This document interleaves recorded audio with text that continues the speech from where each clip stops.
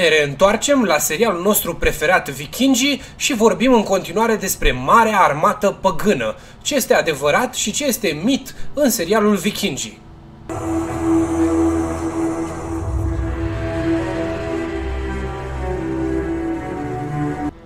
Marea armată păgână, cunoscută de către anglosaxoni și ca Marea armată daneză, a fost constituită din cei mai buni războinici pe care i-a văzut Nordul, originar din Danemarca.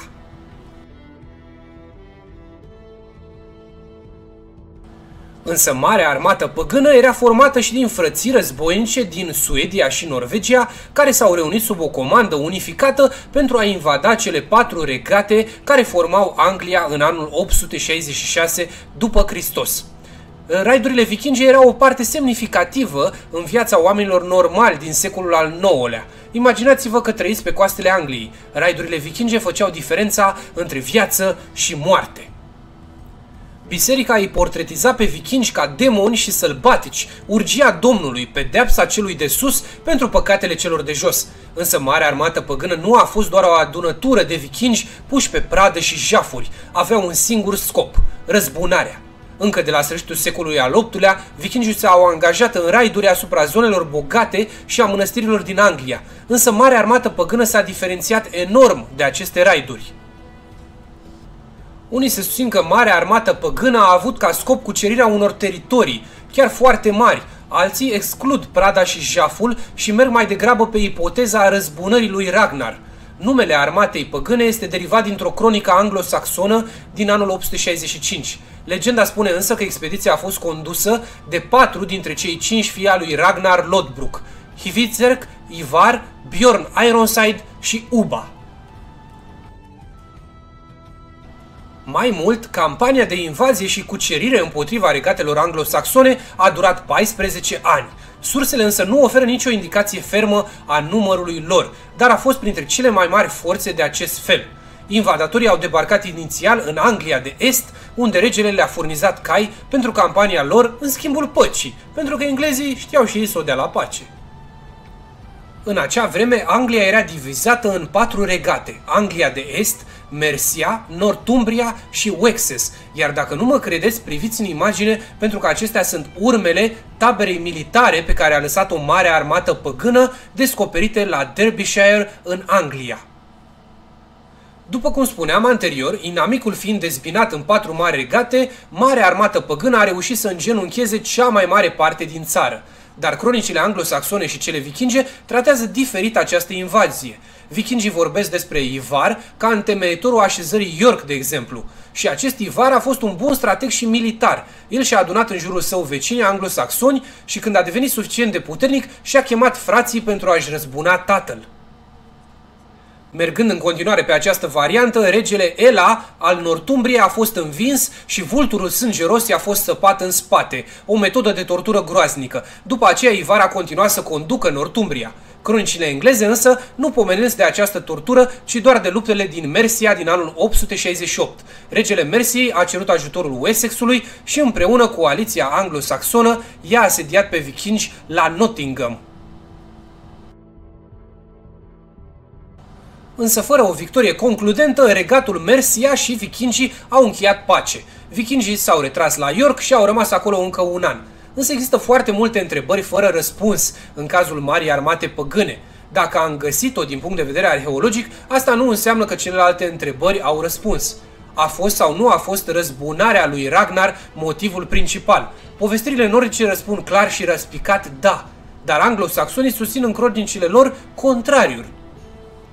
Istoria însă ne arată că până în 878 numai regatul Wessex nu fusese cucerit de mare armată păgână.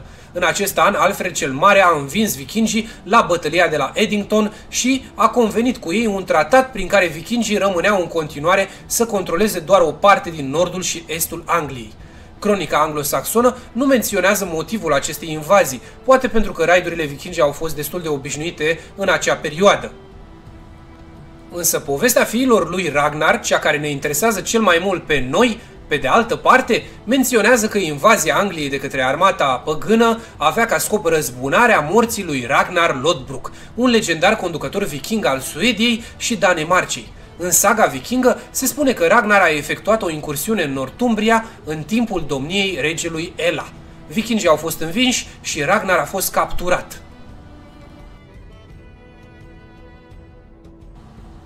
Mai departe, se pare că însuși regele Ela l-a executat pe Ragnar aruncându-l într-o groapă cu șerpi veninoși, iar acesta a murit. Când fiii lui Ragnar au primit vești despre teribila moarte a tatălui lor, au jurat imediat să se răzbune. Au strâns cea mai mare armată pe care a văzut-o vreodată Anglia și au pornit în cea mai mare expediție. Marea armată păgână va invada întreaga Anglie și Ragnar Lodbrok va fi în sfârșit răzbunat.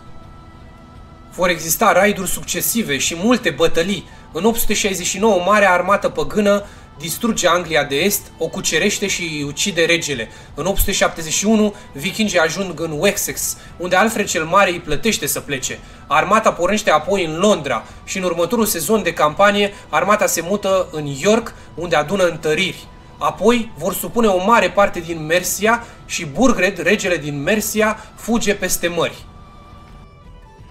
Cele patru regate anglosaxone sunt zdrobite, conform legendei, de fiii mărețului Ragnar Lodbrok și întreaga Anglie tremură de frica vikingilor.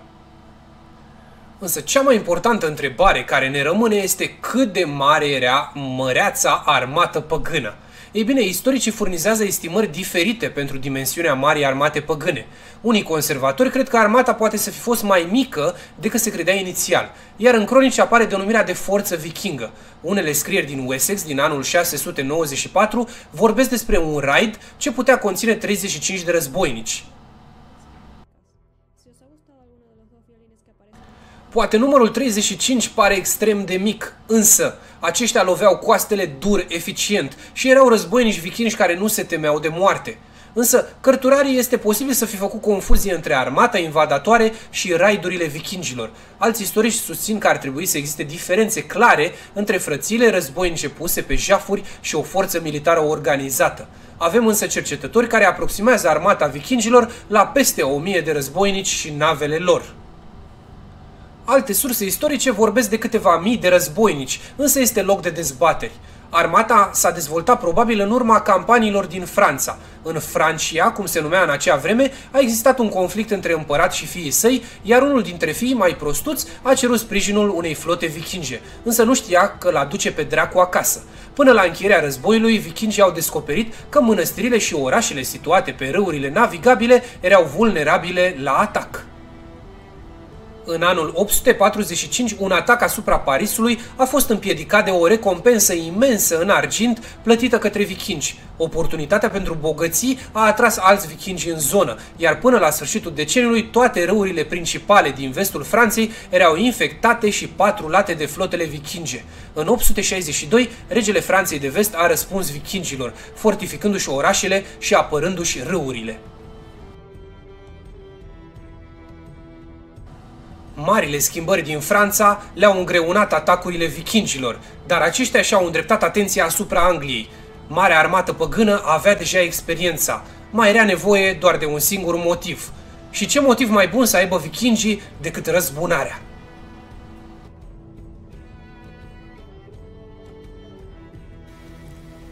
Dacă v-a plăcut acest episod, like și subscribe paginii noastre Mitologica.